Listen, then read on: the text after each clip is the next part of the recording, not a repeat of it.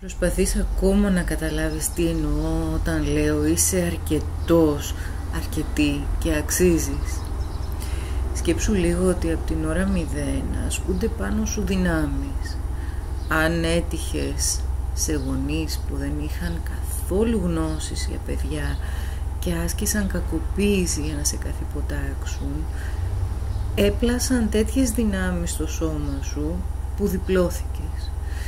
Έγινες φτιαγμένος μόνο για να υπηρετείς. Έγινες φτιαγμένος μόνο για να είσαι υποτακτικός και δουλικός. Αυτό όμως είναι κάτι επίπλαστο. Δεν είσαι εσύ πραγματικά.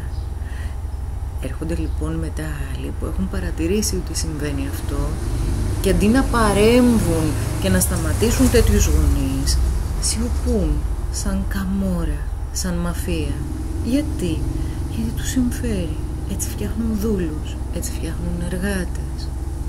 Και εκείνοι άρχουν και βασιλεύουν. Αν λοιπόν αρχίσεις και πιάσεις το νήμα από την αρχή, συνειδητοποιείς ότι ό,τι έγινε επίπλαστα πάνω σου είναι το ψέμα, είναι το τεχνητό. Ότι είσαι πραγματικά είναι αφού ξεφλουδίσεις όλα αυτά τα ψεύτικα όλες αυτές τις ψεύτικες ενδυμασίες που σου φόρεσαν. Θα βρεθείς αντιμέτωπος με πολύ πόλεμο. Θα προσπαθήσουν να σε πείσουν ότι δεν ισχύει. Ότι αυτό είσαι. Υπηρέτης. Δούλος. Μην το πιστέψεις. Μην το πιστέψεις καθόλου. Και κυρίως μην το αναπαράγεις και στα παιδιά σου.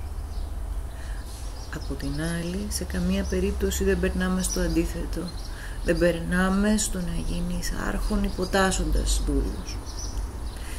Η ισορροπία και η αξία σου είναι στο ότι και εσύ είσαι αρκετός και ο άλλος μπορεί να είναι αρκετός και χωράτε και οι δύο σε έναν κόσμο με απίστευτη αυθονία αρκεί να ξεφύγετε από αυτούς που αυτή την αυθονία θέλουν να την κρατήσουν μόνο για τον εαυτό τους.